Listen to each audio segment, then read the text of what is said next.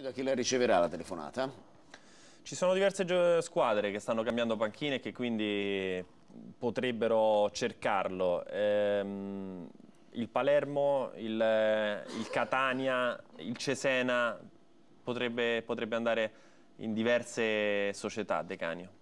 Com'è la situazione delle panchine? Perché qui si rischia di perdere un po' il, il conto. Guarda qui, allora, sì. ti salvo e poi ti lascio. Ce la spieghi un po' questa grafica che abbiamo preparato? Sì, perché praticamente tutti gli allenatori che hanno salvato facendo delle imprese, le rispettive squadre, eh, non siederanno su quelle panchine la prossima stagione. Malesani, che ha salvato il Bologna con tre mesi di anticipo, andrà a Genova, sponda Genoa, e l'allenatore sarà Bisoli che firmerà nelle prossime ore. A Catania Simeone eh, andrà via e al, al, suo posto mh, mm, ci saranno uno tra Marcolin, Torrente o proprio Decanio di cui parlavamo prima, Torrente che ha fatto una grandissima stagione con il Gubbio, a Cesena Ficcadenti.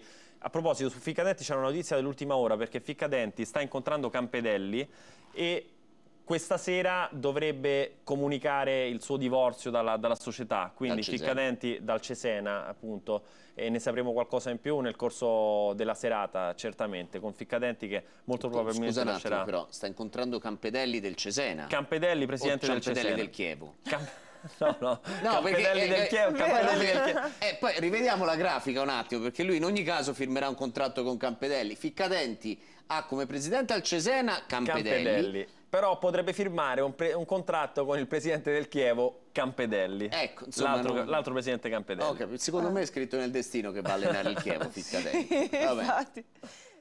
Sì, la raffica che riguarda il, il, Catania, perché vi abbiamo parlato di possibili allenatori del, del futuro, dopo Simeone, Marcolin, Torrente, ma anche eh, Decanio e poi lo Monaco che potrebbe incontrarsi nei prossimi giorni con Lotito, perché ieri si sono visti all'inaugurazione del centro sportivo del Catania. Lotito ha chiesto informazioni su Maxi Lopez e Silvestre e quindi eh, ha detto lo Monaco, se Lotito li vuole abbiamo un ottimo rapporto, basta, eh, basta chiederli. E poi eh,